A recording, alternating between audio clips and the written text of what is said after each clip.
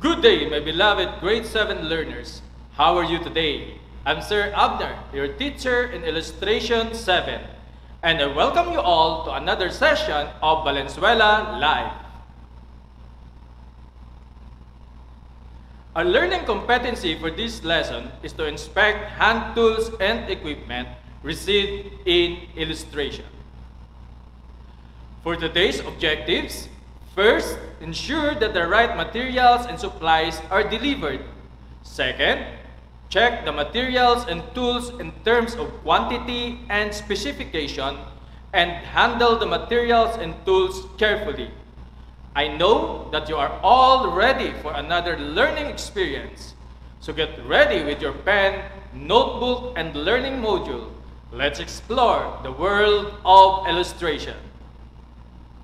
Did you still remember our topic last time about different forms used for inspection of tools and equipment? Very good. Let's check by answering this activity. Identify the form being described in each statement. Just type your answer in the comment section. I will give you 5 seconds. Ready? Go! Identify the form being described in each statement. Number 1. An official paper on which request is made. Requisition slip, delivery receipt,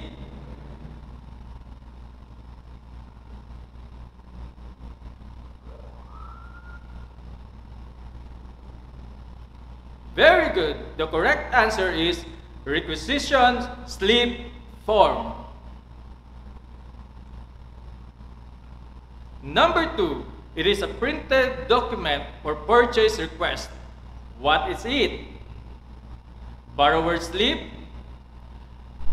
purchase order form,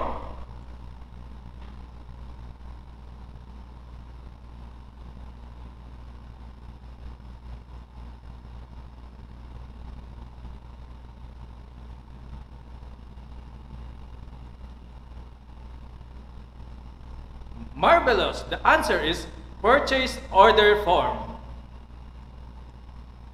Number three, it's a form that shows proof of receipt of goods or services from the supplier. Delivery receipt, and inventory form,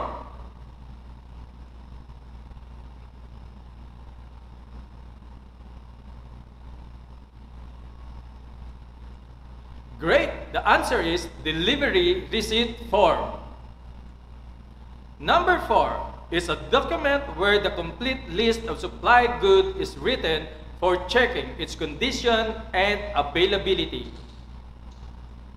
Is it delivery receipt or inventory form?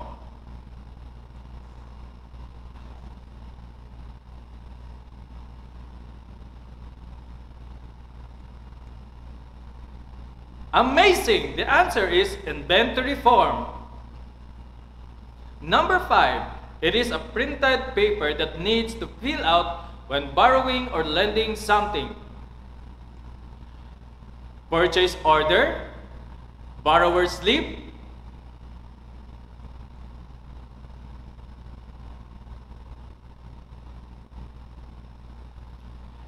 Excellent! The answer is borrower's slip form.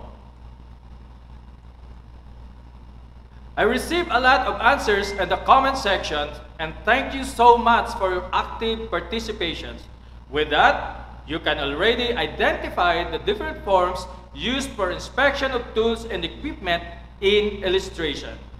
Okay, we're now on week 3 and our topic is maintain hand tools, drawing instrument, equipment, and paraphernalia. Illustration tools are indispensable implements needed by the illustrator, can be quite an investment. Therefore, this equipment must be well taken care of.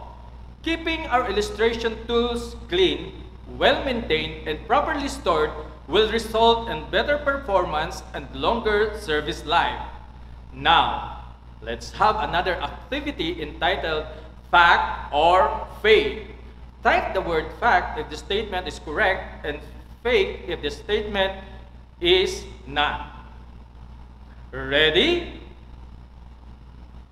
Number one, it is important to inspect and check materials and tools for defects and damages before receiving them so that you can ask for replacements for defective ones.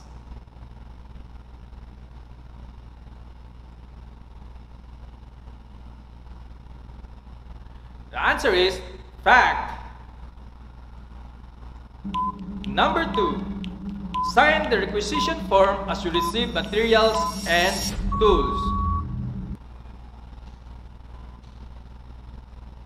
The answer is fact. Number three, the only task of a supply officer is to purchase an item.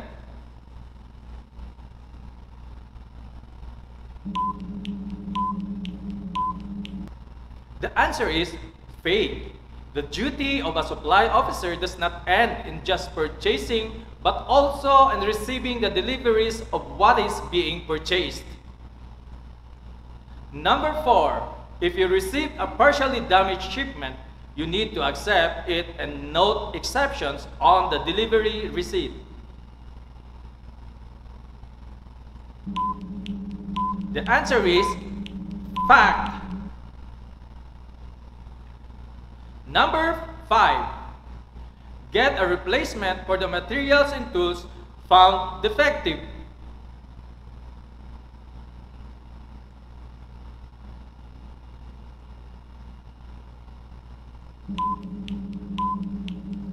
The answer is fact. Before we proceed with our discussion, let's have first the significant questions to be answered later. Why do we need to maintain hand tools and equipment used in illustration? One of the tasks of supply officer is to purchase the company supplies, materials, and anything that it needs. In receiving the deliveries, understand that you need to ensure that the right materials and supplies are delivered and all are in good condition without defects. Check if the materials and tools are complete in terms of quantity and specifications such as the number of pieces, length, width, etc. Every manufacturer knows the importance of providing quality product to each consumer worldwide. If consumers like the product, it is safe to expect that the consumer would be a repeat customer. In order to obtain high quality products at all times, it is very important to perform different test and inspection process to ensure product reliability, safety, and ease of use. Let us discuss the different procedures in preparing an inspection report. When checking illustration tools and equipment, check the physical condition of tools. Check tools against the specification, quantity, and quality. See to it that all parts are complete and free from any damage. Check the accessories of each material and tool. See to it that nothing is missing.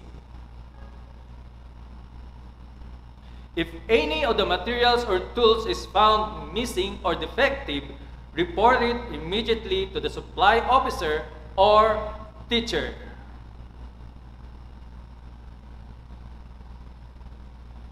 Get a replacement for the materials and tools found to be defective.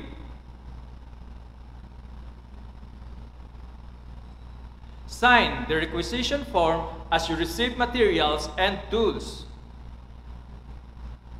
Store the received materials and tools in a safe area or storeroom nearest your workplace. Store the materials in proper order, bulky and heavier materials at the bottom, lighter and smaller items on top of the pile. Always handle the materials and tools carefully. Avoid dropping the tools on the floor. Do not expose tools and materials on sunlight or rain. This is an example of an inspection and acceptance form. It includes the name of the supplier, the date, stock number, for example, A1, combination of letter and number, the unit, item description, the quantity, and the remarks. Write the name of the inspection officer committee and of course the name of the supply officer. Remember that you should enter the correct information needed in the form. Okay, let's have another activity. This time, you are going to supply the necessary information needed in order to fill out the inspection and acceptance form. I will give you 20 seconds to answer.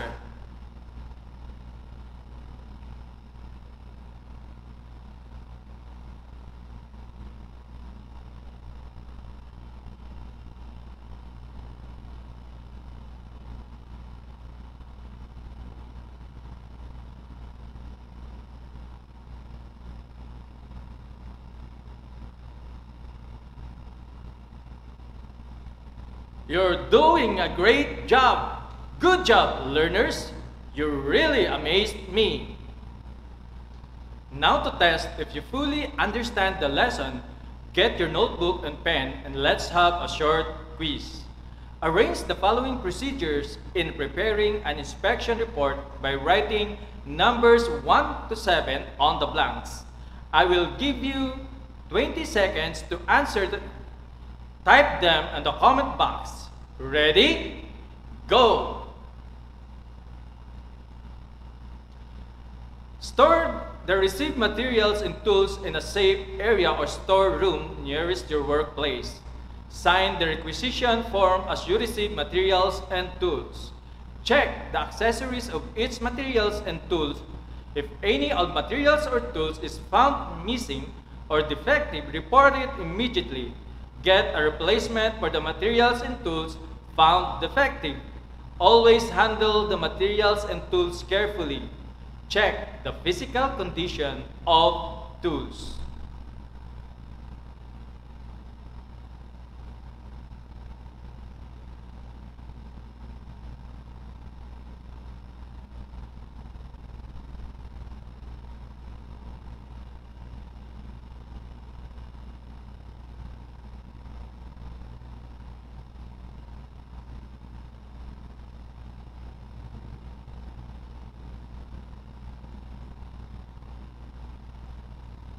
Okay, let's check your answers.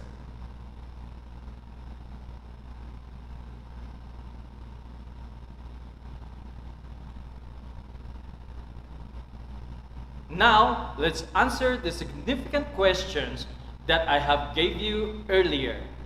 Why do we need to maintain hand tools and equipment used in illustration? Useful quality tools can be a significant investment. They will last longer and return the favor if you take good care of them.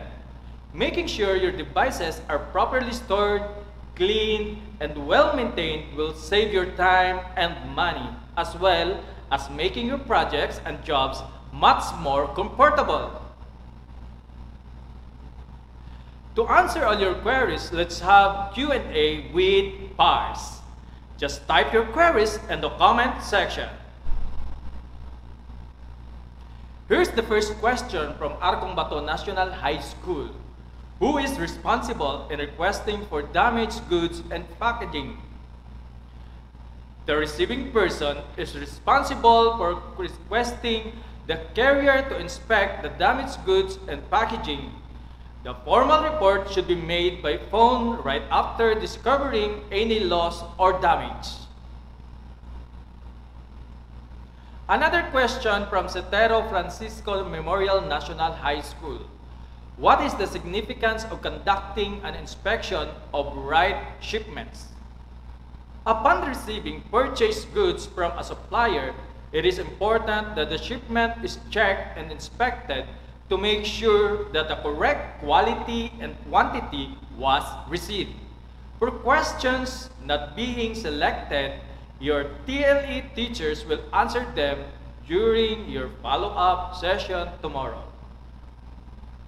Congratulations! You did a great job. I'm very much confident that you have developed the most important skills today, and that is to inspect hand tools and equipment received in illustration. For your assignment, answer the following in your notebook.